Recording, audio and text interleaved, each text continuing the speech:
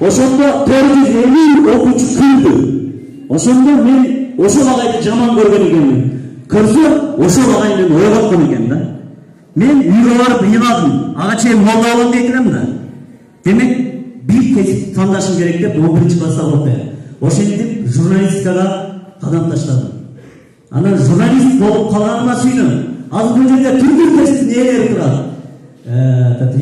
юристтер турат спортчу турат физик математик психолог дүйнөдө бир гана кесип бар менен ээси болсоң болот ал журналист да журналист болсоң экономист боло каласың футболист боло каласың журналист бүт математик бүт себеби баардыгын тагдырын жазып жүрүп баардыгын өмүр тажырмаңын жашоосун ийгилигин жазып жүрүп ошол нерсени бүт үйрөнөсүң мен сегиз жыл журналистикада жүрүп мындай кайра жаралсам дагы ушу журналистте болсом керек эле азырчы себеби отузга кирдим бирок көп адамдардын тагдырын жаздым да. Эми көбүнчө сайтта иштеп мен телеканалда чыгып звезда болгон адам эмесмин бирок сайт интернетке көп жаздым.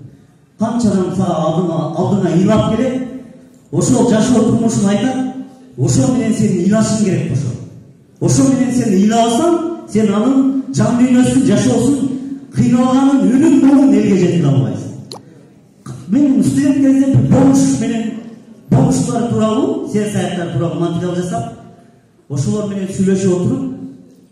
сурасам ал милициянын полковниги экен милициянын полковниги кантип бомж болуп калды бирок кийин өзүнүн туугандарынын суранычы менен бул коомчулукка чыкпай калган бирок ошол айтат да түркүн тагдыр түркүн нерсе башынан өткөн көп нерсе түрткү болгон бирок эрки чыдамы жетпей акыры ичкиликке берилип бомж болуп кеткен бирок журналист ошону угуп отуруп бир күн сен бомждун жашоосунда жашайсың да. Себеби ошондой болот журналист кесип ушундай сүйүктүү оор бирок кооптуу дагы кесип мына. Билесиңерби былтыр эле кесиптешүүбүз улан эгизбаев каза болду башка канчалаган кесиптештерибизди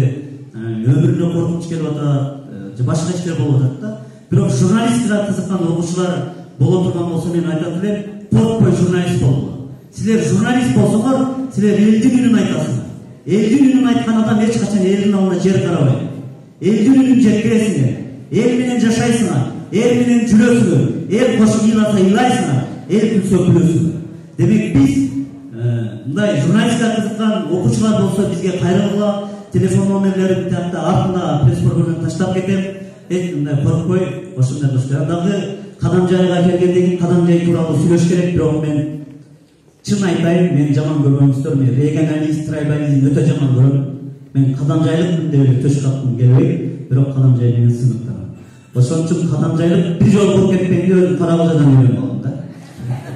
ошол албетте тамаша бирок мен айтайын дегеним кадамжайдан полотхон чыккан кадамжайдан абдыкадыр орозбеков чыккан кадамжайдан масалиев чыккан деп ушул сөз айтыла берип айтыла берип уже баардык адамга сиңип кетти 매트리가 소홀해요. MDR춤 나 포도만 축소한 거예요. MDR춤 나 마사지 축소한 거예요. MDR춤. Adam bakınız dedi. Bu alandan orada da olsa bu alan kançalık kelim. Bir on azınlık bürü.